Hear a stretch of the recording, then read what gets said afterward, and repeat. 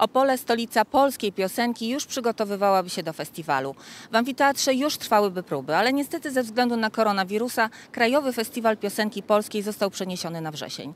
Nie znaczy to jednak, że Opole nie podtrzymuje tradycji śpiewania. Ponieważ obchodzimy 30-lecie samorządów, czyli wielkich zmian w naszym mieście, miasto postanowiło nagrać profesjonalną piosenkę i teledysk. I jeszcze trwa casting. Dzisiaj przedostatni dzień wielkiego castingu. Swoje filmy z krótkim nagraniem piosenki nadal można nadsyłać na adres biuro małpa ncpp.opole.pl. Profesjonalne nagranie, dobra zabawa, zapraszamy.